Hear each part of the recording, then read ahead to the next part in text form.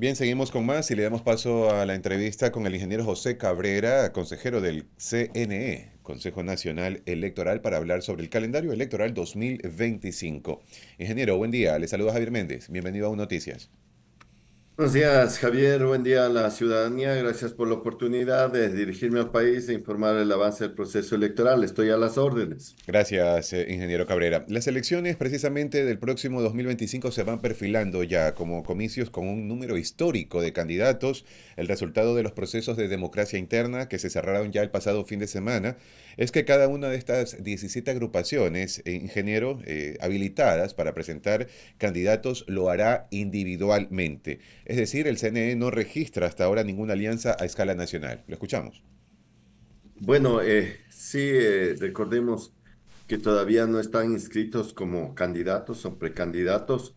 La inscripción de los, de los candidatos es hasta de eh, inscripción de candidaturas desde el viernes 13 de septiembre hasta el miércoles 2 de octubre es la inscripción de candidatos.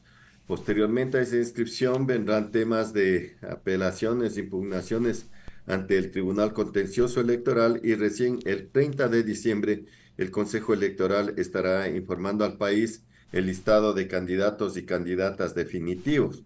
Entonces, este momento son precandidatos, todavía no están calificados como tal, como candidatos, así es que también está, existe la posibilidad de que hagan alianzas. El registro de alianzas se encuentra en el calendario electoral desde el 22 de julio hasta el 30 de agosto. Entonces esperemos que también se haga estas, estas alianzas entre las, las organizaciones políticas.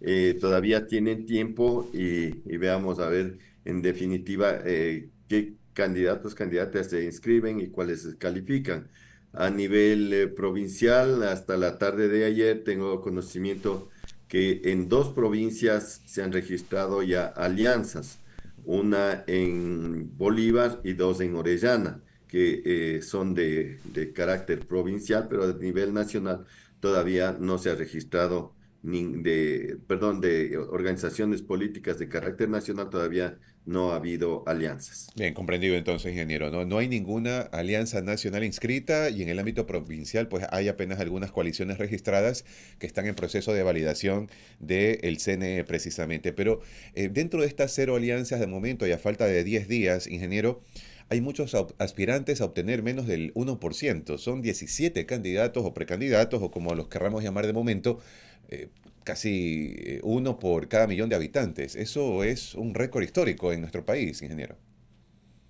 Bueno, sí, los 17 candidatos, porque recordemos que en el 2021 hubo 16 eh, candidatos y candidatas, hoy están 17. Bueno, veamos la, la, decisión del pueblo por quienes votan y por quienes no votan. Recordemos que en el Código de la Democracia se encuentra en las reformas el tema de devolución del fondo de promoción electoral en el caso de que no cumplieran el mínimo de o, que el valor, el número de votantes sea menor al 4% en la misma dignidad.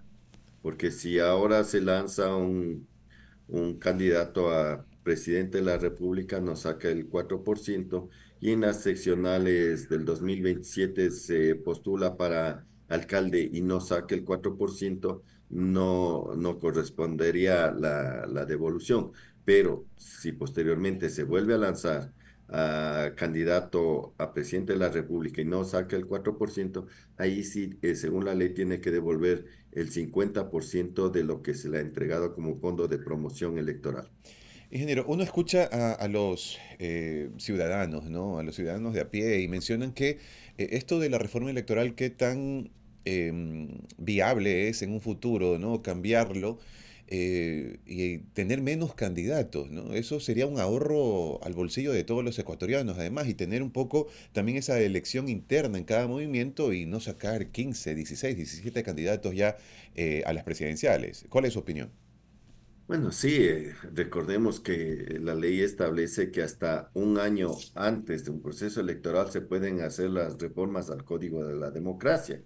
Y creo que en lo personal, creo que se debe eh, tener eh, un menor número de candidatos y esto tomando en cuenta nuevos requisitos, exigencias que estén dentro de la ley. Hoy tiene que, para ser candidato presidencial, tiene que ser mayor a 35 años, tiene que estar en goce de sus derechos políticos y no encontrarse en inhabilidades, nada más.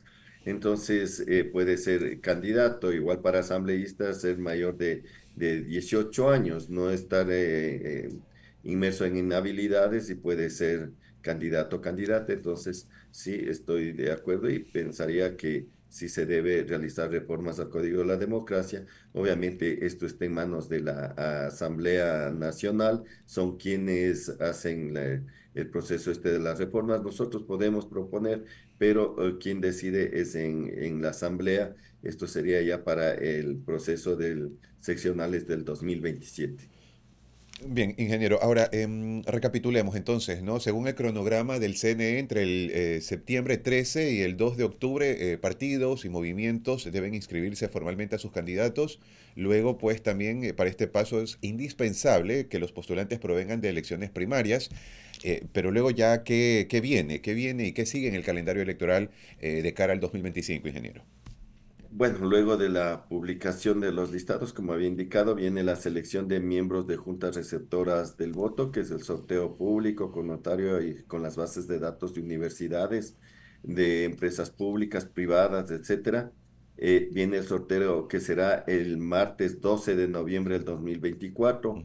Eh, la notificación a los miembros de juntas receptoras del voto desde el 18 de noviembre hasta el 25 de enero del 2025 y la capacitación a miembros de las juntas receptoras del voto desde el 2 de diciembre del 2024 al 9 de febrero del 2025. Eh, posteriormente tenemos la campaña electoral del 5 de enero del 2025 al 6 de febrero del mismo año. El debate presidencial sería el domingo 19 de enero. El primer simulacro igual el, domingo 19 de enero el, segundo simulacro el domingo 26 de enero. El voto de las personas privadas de libertad será el, el jueves 6 de febrero. Eh, voto en casa el viernes 7 de febrero. El silencio electoral del 7 de febrero al 9 de febrero. Y finalmente el día del proceso será el día domingo 9 de febrero del 2025. Si existiera segunda vuelta, sería el domingo 13 de abril del 2025 el proceso electoral. Bien, queda apuntado entonces, ingeniero. No, 13 de abril, en caso de segunda vuelta electoral, queda el sufragio general. Ahora, eh, cambiando un poco de tema también, ingeniero em, Cabrera, el tema de em, esta insistencia en la revocatoria del mandato del alcalde Pavel Muñoz por parte de Néstor Marroquín, ¿cómo se lleva este proceso de momento, sabiendo que en su momento Pavel Muñoz también ya ofreció disculpas eh, por hacer proselitismo político? Bueno, nosotros tenemos que seguir lo, que está en el instructivo, en la ley acerca de las revocatorias de mandato. El señor ingeniero, abogado Néstor Marroquín ha presentado el 5 de, agosto su, su, solicitud, el 6 le, el director provincial, porque esto eh, presentan ante la, Dirección eh, Provincial Electoral, le pidió el 6 de agosto que complete el señor el 7, que complete la información, el señor el día 7 de agosto presentó una solicitud pidiendo más información el señor Marroquín hacia el Tribunal Contencioso, ante el Consejo Nacional Electoral, y el día 9 ya presenta la denuncia ante el Tribunal Contencioso y saca en redes sociales de que el Consejo Electoral ha negado tácitamente. El Consejo Electoral no, no niega tácitamente, ni un director provincial es el, tiene la potestad para negar una revocatoria del mandato. Quien niega o autoriza las firmas eh, para que recojan las firmas es el Pleno del Consejo Nacional Electoral. Entonces, es, es una... No sé cómo calificarle el tema de que el señor Marroquín indica, él pide el 7 información y el 9 ya denuncia ante el Tribunal Contencioso y a los medios de comunicación de que el Consejo Electoral tácitamente le ha negado. Ahora, sin embargo, tres o cuatro días después, ingresa la documentación que le, que le faltaba. Esa documentación, la delegación provincial tiene que enviarle al señor alcalde, me supongo que ya le envió al señor alcalde, porque tiene derecho a la defensa, para lo cual la ley da siete días para que el, el, la autoridad, eh, en este caso el señor alcalde, presente sus descargos.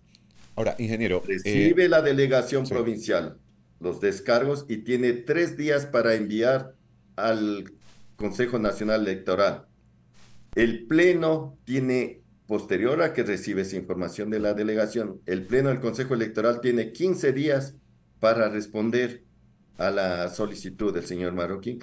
Todos estamos en tiempos. y el Consejo, y el, insisto, quien eh, autoriza o rechaza la solicitud es el Pleno del Consejo Electoral, no el director eh, provincial, y estamos de acuerdo a, a, los tiempos. Y cuando llegue al Pleno del Consejo Electoral, analizaremos si corresponde o no. Pero tácitamente no se, no se ha ha rechazado la solicitud del ingeniero abogado. Bien, en todo caso, estas incidencias em, tendrá incidencias en autoridades de elección popular actualmente en funciones y que aspiren también a la reelección, eh, ingeniero Cabrera. Sí, obviamente, ya, eh, insisto, todavía no conozco el documento en, en base a qué están eh, solicitando la revocatoria del mandato, si es por incumplimiento de las del, del plan de trabajo, si es por temas de incumplir la ley. Entonces tenemos que nosotros analizar con todo el expediente para poder pronunciarnos como pleno.